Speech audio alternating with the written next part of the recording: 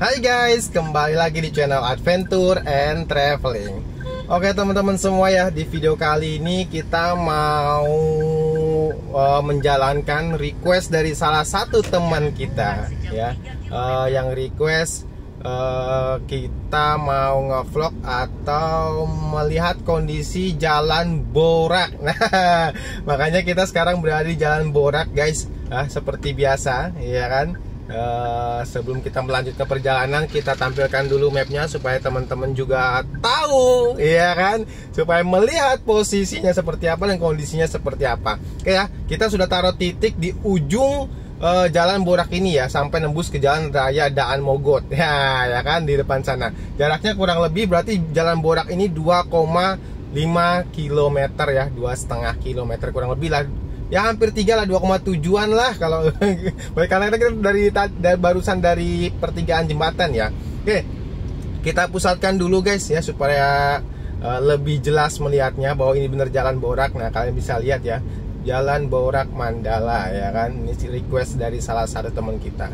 Kita juga mau melihat bagaimana kondisinya saat ini ya. Seperti yang kalian ketahui Jalan Borak ini sudah menjadi jalan utama guys ya kan Sebelumnya ini hanya menjadi jalan alternatif saja karena uh, sebelum dialihkan jalan dari arah Tangerang menuju Jakarta itu kan masih melalui jalan raya Daan Mogot, ya enggak? Betul enggak? Dan setelah dialihkan uh, jalan Borak ini menjadi jalan utama dari Tangerang menuju Jakarta. Jadi dibikin satu arah ya, guys. Begitupun sebaliknya Jalan Daan Mogot, ya Jalan Raya Daan Mogot itu jalan satu arah dari arah Jakarta menuju Tangerang. ya kan? Jadi supaya menghindari kemacetan tentunya ya kan karena dibikin satu arah. Ya, kalau kita lihat kondisi jalanannya kalian bisa lihat guys, ini aspalnya warnanya hitam ya guys. Berarti belum lama ini di aspal. Bagus nih guys, mulus dan rasanya juga enak guys. Ya, kalian kalau mau lewat uh, silakan mau nyobain nih ya kan aspalnya ini rasanya mulus. Ya ya kan tidak ada getaran sama sekali guys.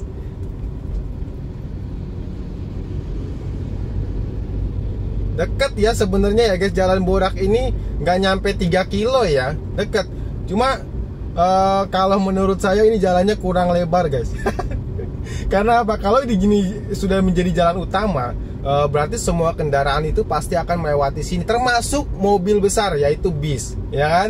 Kalau bis pasti sudah menghabisi satu jalur ini. Ya itu dia guys. Kalau adanya putaran balik atau pertigaan tadi yang orang muter balik dari Jalan Redaan Mogot ingin ke Jakarta lagi nah itu bisa jadi ya kan? Bisa jadi uh, terjadi kemacetan ya tapi nggak tahu ya kondisi di lapangan seperti apa. Mungkin kalian yang sering lewat jalan borak ini ya kan? Silahkan komen di bawah ya ini kebetulan di hari minggu ya guys. Di hari minggu ini jalannya enak guys. Lancar saya tuh seneng jalan-jalan ke hari minggu ya kan? Jalannya tuh lancar ya kan? Kita menuju ke mana aja juga lancar kecuali ke tempat wisata. Tempat wisata di sana ya pasti penuh karena banyak orang yang ke sana baik kalau tanggal-tanggal muda. Nah jalan lebar seperti ini sedang nih guys. Ya kan? Jadi kalau bisa nih ya kan? Siapa tahu uh, ke depannya jalannya diperlebar lagi. Wah lebih mantap nih guys jalan borak ini guys. Ya kan? Supaya makin lancar tentunya ya enggak?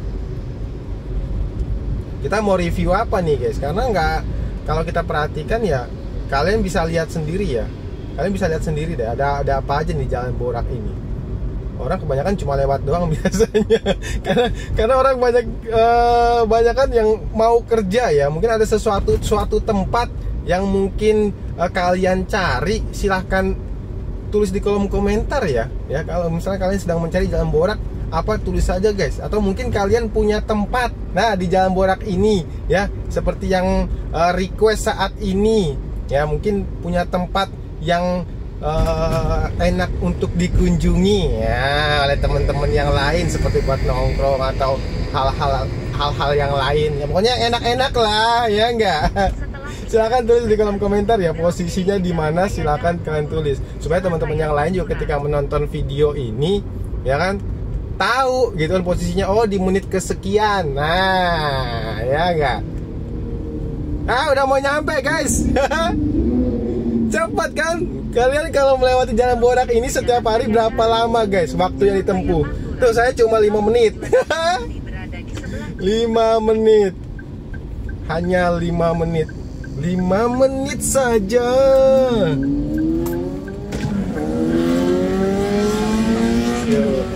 Oke okay guys ya.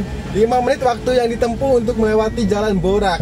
Di hari minggu tentunya Oke, okay, ya karena kita sudah melewati jalan borak ya sesuai dengan request salah satu teman kita ya. Maka cukup sekian dulu video kita kali ini. Mudah-mudahan uh, dapat bermanfaat buat teman-teman yang lain dan terhibur tentunya. Ya enggak? Kalau kalian punya requestan yang lain silahkan tulis di kolom komentar ya nanti suatu uh, saat nanti saya akan jadwalkan requestannya dan ketika kita ada waktu sempet kita jalankan requestannya oke sampai ketemu di video berikutnya. Jangan lupa di like comment share dan juga subscribe. Bye bye